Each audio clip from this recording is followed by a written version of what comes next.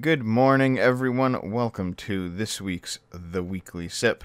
And in fact, during the uh, the premiere yesterday, there was a whole bunch of people saying, "Where's the sip? Where's the sip?" Well, here it is. Mmm. You even got a uh, a bonus gulp in there. How'd you like that? And it is a very good morning indeed. How many of you guys are on the SFO Discord? Because if you were, I did a uh, a morning wake up call, 5 a.m. Everyone, and hopefully your phone did not wake you with notifications. Time to get up, guys. It uh, it seems that not too many people uh, appreciated it. Speaking of premieres, I'm only really using them for long form videos like uh, like yesterday's "Don't Have Kids" video. All my short videos and the weekly sips and dumping with Scrump, and anything else that I decide to do will probably not see a premiere. Only the big ones will see one. And I gotta say, yesterday's video was uh, quite divisive, as it's still playing out in the comment section. All the uh, all the arguments. That's good though. That's good. There's a bunch of people who agree with my analysis. There's a bunch of people who think that I am just a fucking cuck, and you know that's fine. but the best part about it is that we're talking about the subject. We're talking about whether or not to have kids. We're actually talking about the contents of the Christchurch Shooters Manifesto. We're not simply shutting off our brains and taking in the media narrative wholesale. It's more important that we discuss and disagree because the radical lefties in the media simply want us to shut off our brains and assume that it's all racist. So keep talking, guys. Here's an article that I meant to actually put in yesterday's video, but I just couldn't find a way to uh, to worm it in. Thousands of dads are left in shock as do-it-yourself paternity tests soar. Oh, maybe there is something to the fact that everyone's fucking cheating nowadays. Up to 30,000 tests are being performed every year. The DNA test can be carried out with a simple cheek swab. 20% of men will learn they are not the father of the child they're testing. One in five. Sales of secret paternity tests are surging, according to suppliers of do it yourself home kits. The DNA tests, which can be carried out with simple cheek swabs, are leading to growing numbers of men discovering they are not the biological father of children they have been led to believe were theirs. So, guys, how long until this is made illegal? Think about it for a minute. On the argument that it's causing more and more men to disassociate from their families, drop their responsibilities to these kids and their mothers, break up marriages, rather than actually blame the woman who cheated on the man, how long until the people in power make some sort of a claim that children have the exclusive right to their genetic material and that you can't steal it from them to do a, a test like this? 20% of men will learn they're not the father. In some regions, the figure is higher, including the Northeast, where it's 30%. Holy fuck, can you imagine? That's almost one in three. Holy shit. The explosion in demand for the test have been fueled by the ease with which definitive DNA paternity results can now be obtained. For about 99 pounds, testing kits which promise 100% accurate next day results can be bought online. Yeah, I think the era of mom's baby, dad's maybe is uh, is rapidly coming to an end. To be honest, I think that a paternity test should probably be mandatory at birth. It's a trust but verify situation. I know the arguments against against not having the government involved, but if it is say a legal statute that all kids have to be paternity tested at birth, it removes the uh, the awkwardness of it, you know. Because let's say you're in a relationship and you have a suspicion that your girl might have been having kids with somebody else and you're the sucker. But you have no proof. You just have like a feeling. And then you ask, "Oh, hey, can we get this kid uh, paternity tested?" They're going to instantly take that as an affront. And you know, if they're innocent, why wouldn't they? From the point of view of the girl, if you're innocent, if you have been faithful, and your guy comes to you and asks for a paternity test, that is a slap in the face. There's no easy way to do this. So if it becomes mandated, then it becomes a lot easier to do. Of course, I don't think the government will ever actually mandate something like that because it goes against their interests. Their interests are to keep family units complete, are to keep men working, and if necessary, to keep child support payments flowing. And if mandatory paternity testing disrupts that, a government is not going to implement it. As long as the man is named on the child's birth certificate or has parental responsibility, no permission is required from either the mother or child, meaning the test can be car carried out in total secrecy. That's going to change too. There's going to be a legal statute for that. They're going to be like, no, it's it's the mother's child, so the mother has the say. In some U.S. states, concern over this has led to a recent ban on do it yourself home DNA testing, with all tests now having to be ordered by a doctor or court official and conducted under their supervision. In Britain, there is no such legislation currently being considered. Yeah, see, I didn't even read ahead in the article. I already knew where they were going with it, and that's where they went. And of course, whenever this topic comes up, I am always reminded of this old article from 2010 Who's the Daddy? Paternity can now be verified by a simple test, but it doesn't mean it should be. It's a wise child, they say, that knows its own father. Nowadays, wisdom is hardly required. DNA tests can do the job with scientific certainty.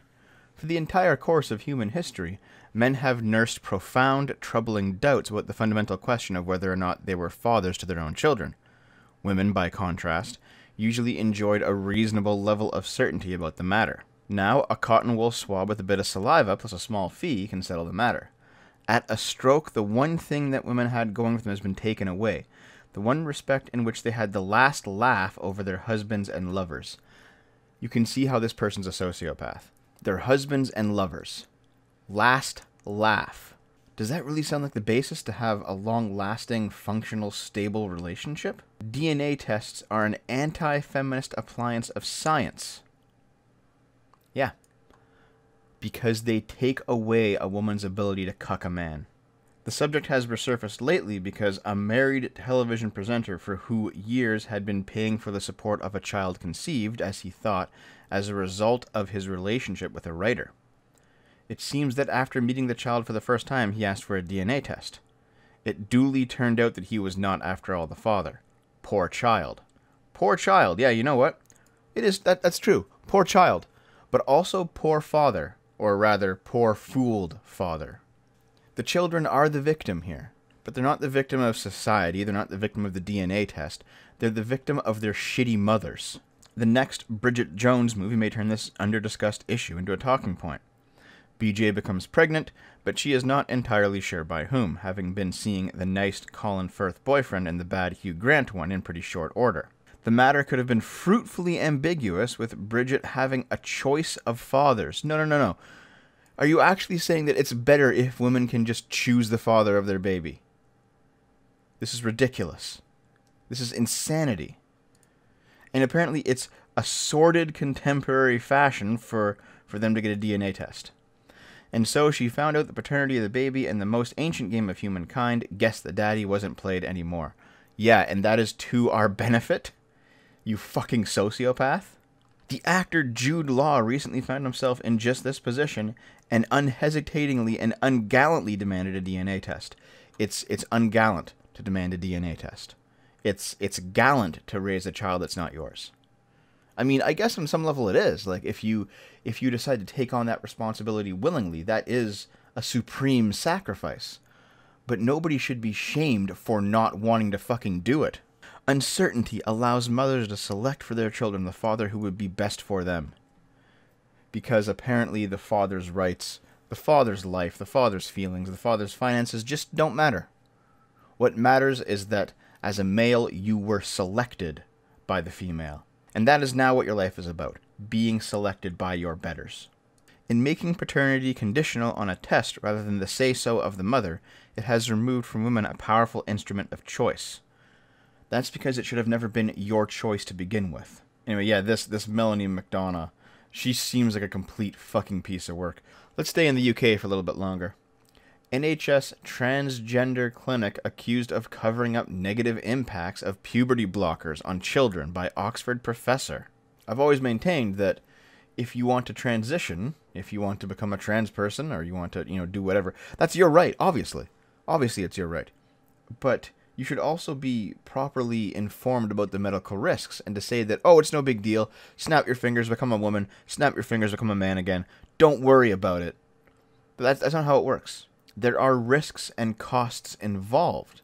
And talking about them frankly is not gatekeeping. At some point, I'm going to have to do a video on, on the trans situation, and I think Lilith is going to help me out with it. We've been talking about it. An Oxford University professor has accused the NHS's only specialized clinic for transgender children of suppressing negative results while undertaking experimental treatment on adolescents. This is hideously unethical. Suppress negative results as you test on children because you have an ideology you want to push. They've been giving puberty blocking hormones to children without robust evidence as to the long term effects. They declared the trial a success, and the clinic has continued to treat over a thousand children with hormones. But Dr. Biggs's research suggests that after a year of treatment, a significant increase was found in patients who had been born female, self reporting to staff that they deliberately try to hurt or kill them themselves. And this is when you realize that the radical trans activists don't actually care about trans people. They are actually quite anti trans because they will push the trans acceptance agenda to the point that they have no problem with actual real trans people killing themselves. The normalization of trans status in society is more important than keeping actual trans people alive, according to these idiots. Puberty blockers exacerbated gender dysphoria, yet the study has been used to justify rolling out this drug regime to several hundred children aged under 16. Yeah, maybe you should be waiting till they hit 18. Maybe you should you should be waiting till they're fucking adults before you do anything this goddamn serious. Let's shift gears a little bit. A belief in meritocracy is not only false, it's bad for you. Said by somebody who probably can't fucking compete. Most people don't just think the world should be run meritocratically. They think it is meritocratic. Well, on some level it is. Think about it. If everything was corrupt, if all of our institutions were purely 100% corrupted, everything was just an eternal power struggle between the people at the top and the people at the bottom, why do things work?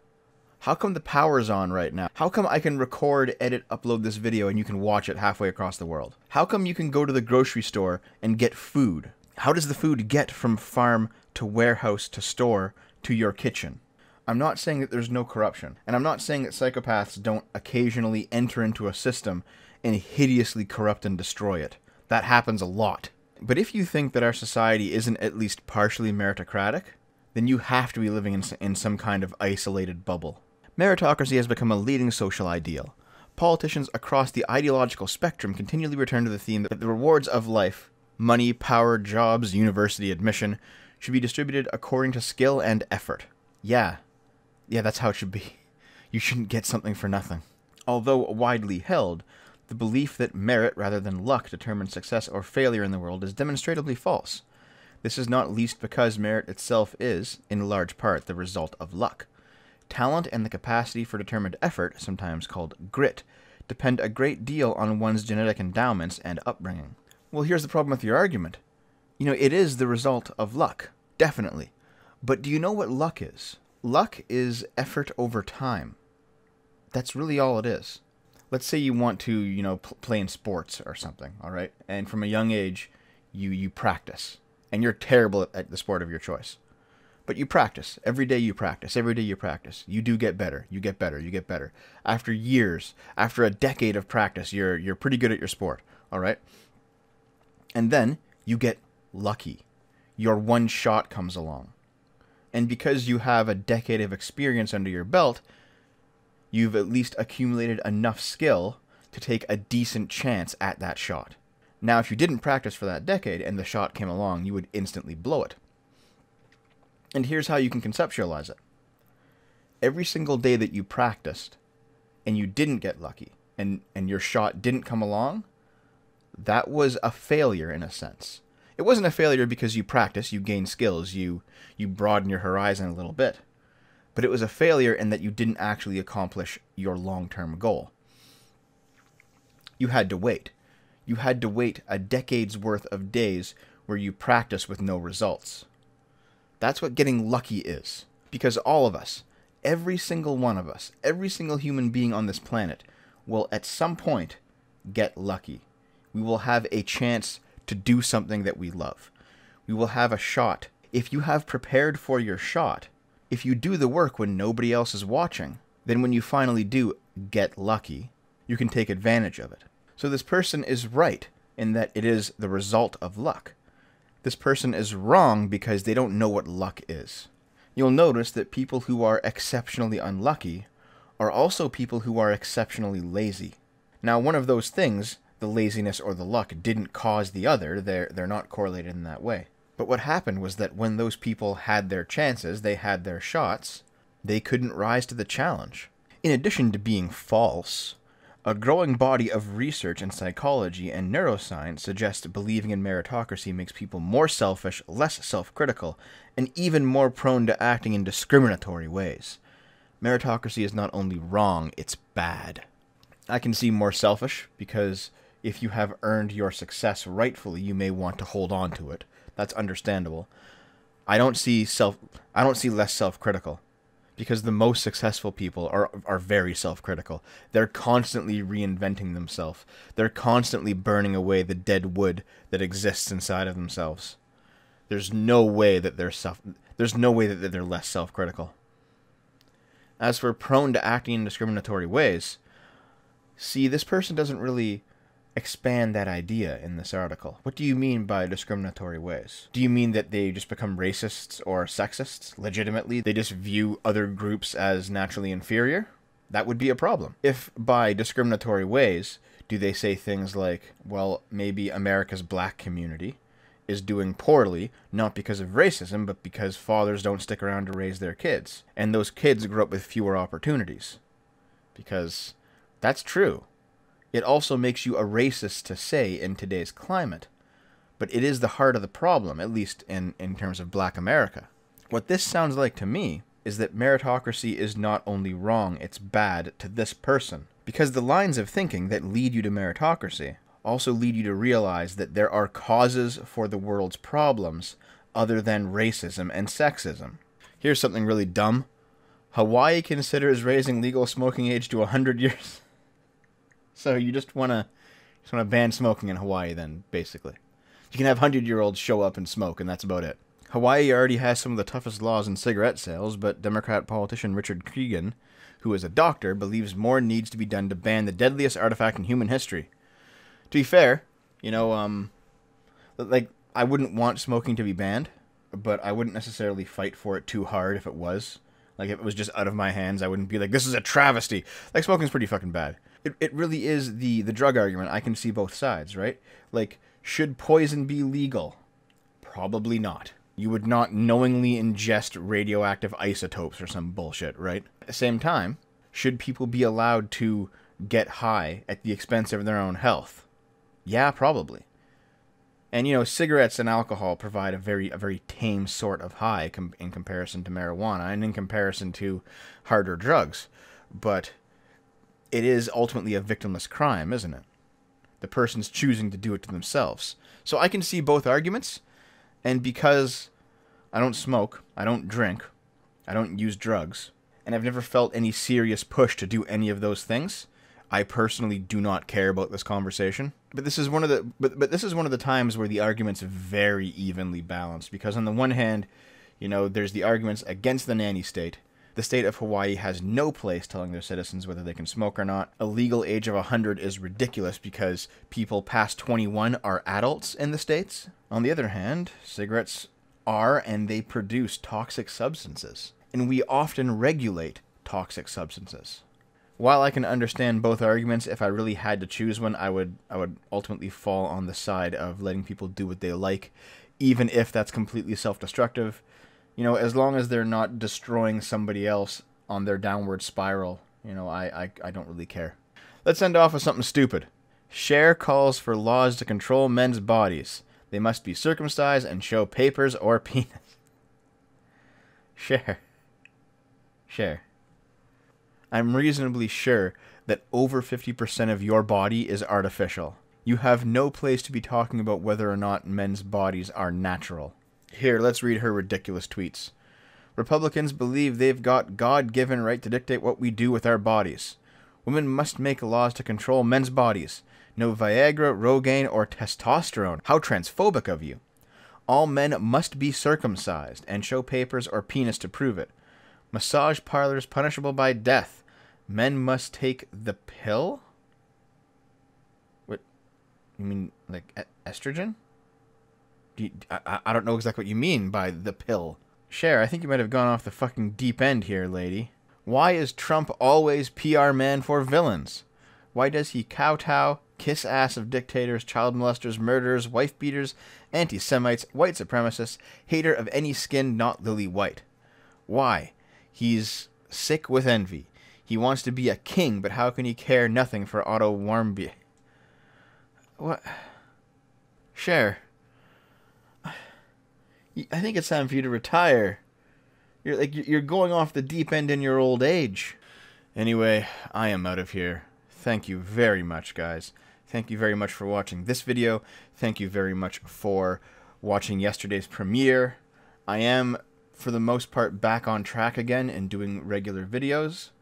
I appreciate your support on Subscribestar because ever since I did the uh, Patreon is dying, you know, Sargon's last laugh video, my Subscribestar support has has rapidly bumped up.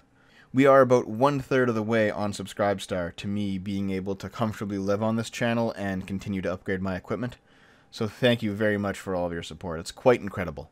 If you're interested in this sort of thing, I will be streaming Mass Effect 2 tonight with my girlfriend. We're continuing our playthrough uh, through the entire series. She's never played it before. Doing that on twitch.tv slash gameboomers tonight. And as always, because I am doing the content creation thing full time now, I stream my video games on Twitch every night. I'm a variety streamer, so just drop in whenever you see a game that you like. I don't know if D&D is on this week. Sargon's really really dragging his butt about it. Let's hope it is. It's been like five fucking weeks. So whether you're catching me on Discord, seeing me on Twitch, or checking out my videos, thank you very much. I love you.